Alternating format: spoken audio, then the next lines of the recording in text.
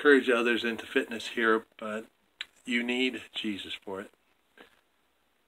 Before you need any kind of fitness, you need spiritual fit before you get physically fit.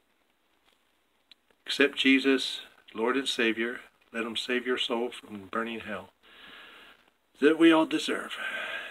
And I am the king of that. Paul said he's king of sinners. I think I gave him a close race on that. God bless.